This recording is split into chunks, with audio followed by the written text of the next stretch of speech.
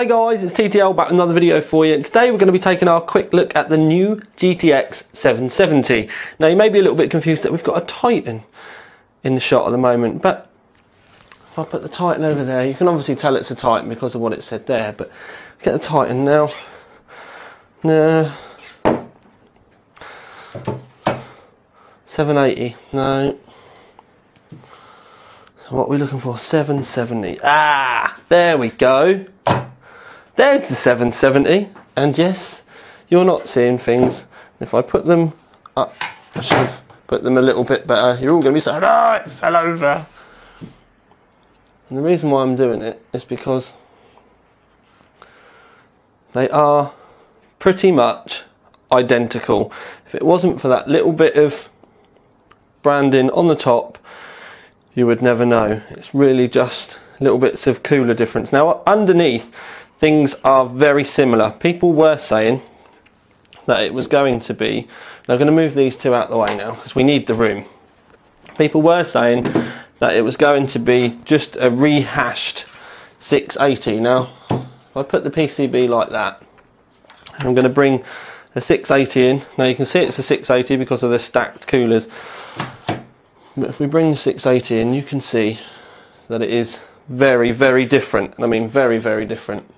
Completely different PCB. But if we move this over, I'm not even going to bother showing you the um, 780 because we know the 780 is the same as the Titan. I'm going to bring the Titan in and I'm going to stick that by the side there.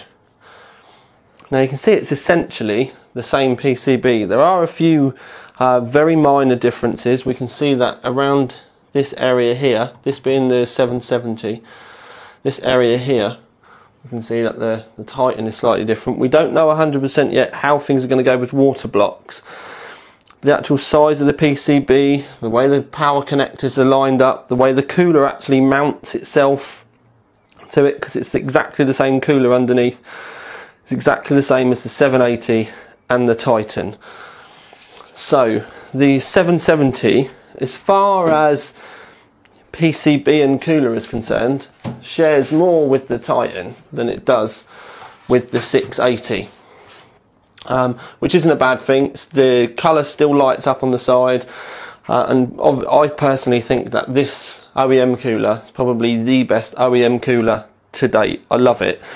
But when you get down to the nitty gritty, the actual GPU on the core itself, and I've made some notes, look, um, it is, if we have a look, just to show you, this is 770, this is 680. So same um, amount of CUDA cores, 1536. The 770 is going to come in a 2 gigabyte version, which they advise for a 1080 screen, and a 4 gigabyte version for high def screens, or you know, high def, um, uh, 2560 by 1440, for example. Uh, base clock is 1046 versus 1006, so that's a 40 boost. 1085 on the boost clock compared to a 1058, so you're looking at about a 30 megahertz bump on the boost clock. Memory's a bit different, mind. 6,000 gigabits or 6 gigabits a second, sorry, on the uh, 680, but over 7,000 or 7 gigabits a second for the 770. And I will say as well, when you get it and get to play with it, the memory on this overclocks like fucking no one's business. Um, in EVGA uh, Precision, I got um, about 150 stable boost, but with a 550 uh, boost on the base clock. And I didn't do any overvolting or anything like that. That was all within NVIDIA standards. And that came out with the memory in that being well, when you're looking GPU Z being over 2,000, now they work it out between 7,000 and that. I think that probably at that point, running at over 2K, I think you times it by four, so that would have meant that it was running at over 8 gigabits a second. So the memory in this is definitely an upgrade.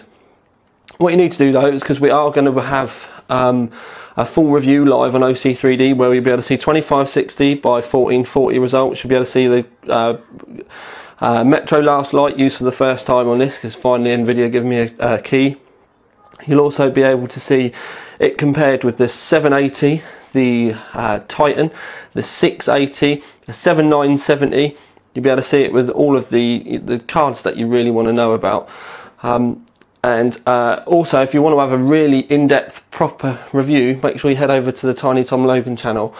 Um, Tiny Tom Logan, the OC3D TV, because uh, I, I, I don't. There's a lot of people out there saying, you know, the rebrand's bad.